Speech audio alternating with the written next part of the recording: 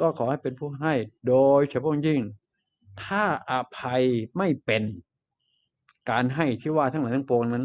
แทนที่จะได้เต็มร้อยมันได้แค่ห้าเปอร์เซ็นสองเปอร์เซ็นเองนั้นการอภัยให้เป็นเนี่ยโอ้โหที่สุดยอดมากนะให้สิ่งใดกับใครมันจะเต็มร้อยเปอร์เซ็นเลย เพราะเรามีคำว่าอภัยในตัวเอง ใครก็ได้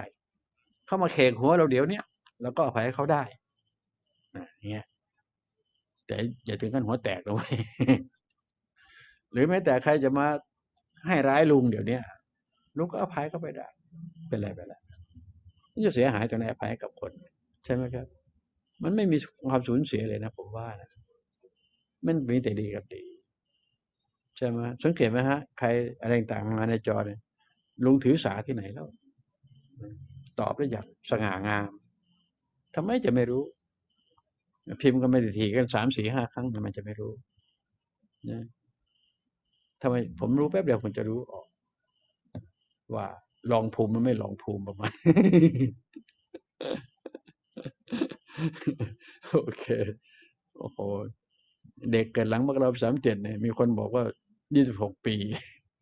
เออ บวกลบคูณเลขให้หน่อย ลุงมัน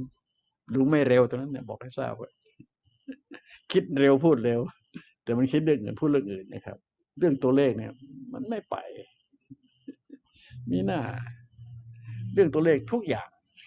ไม่ไป ก็ยินดีฮะ ท่านที่กระชับในตัวเลขนะเป็นคนที่มีความละเอียดนะครับให้ลุงไปละเอียดเรื่องอื่นเรื่องตัวเลขมันละเอียดละเอียดเนี่ยเรื่องอื่นโอเคครับผ่านไป หมดเนาะขอบคุณมากครับ ก็เลยความ